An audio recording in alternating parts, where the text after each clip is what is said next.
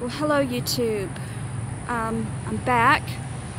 I'm showing you today, uh, this is Timberlawn Hospital, what remains of Timberlawn Mental Health Hospital. This building is over 100 years old.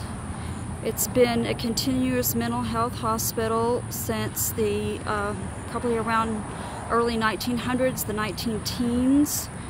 Um, it closed down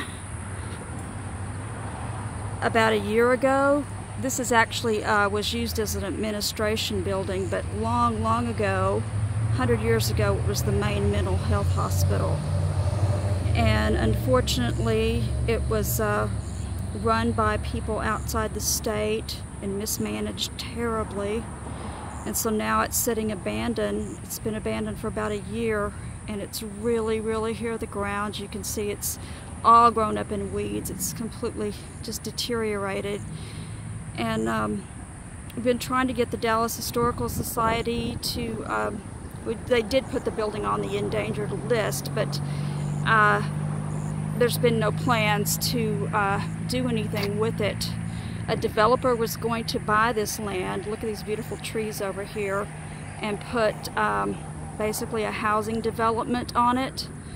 But apparently in the 20s there was an old gas station here and uh, pumps are buried and I think the land is considered contaminated and they couldn't do it so the deal fell through. So now uh, really no one knows what's going to become of this place but it would be um, such a shame to see this building demolished.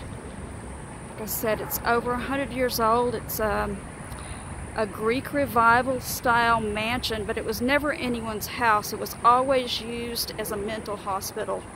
Originally for patients, and then um, administration used it in its latter years. Uh, I think it's just an amazing house.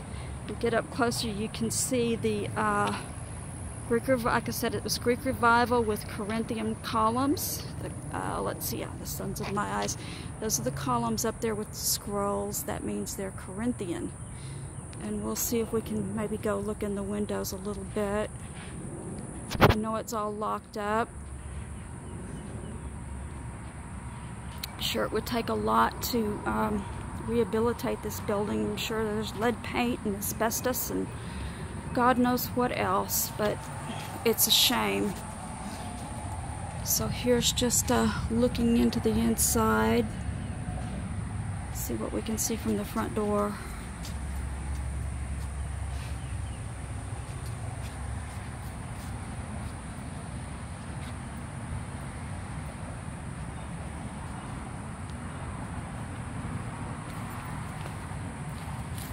But uh, some really bad things happened here in, in its last years. Um, a patient killed a doctor, and there were numerous patient assaults and suicides, so it was just horribly mismanaged, but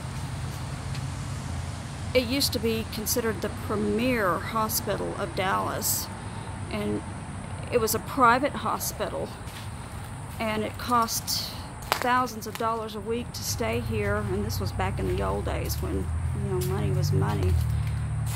And um, it was just considered a very nice place, very serene. You can see all the trees. There's pathways and walkways out to the main buildings, and it's all been all overgrown.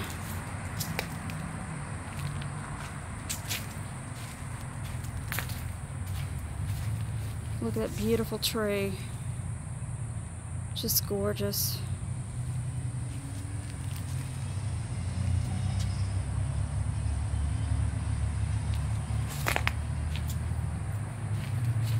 Look at that.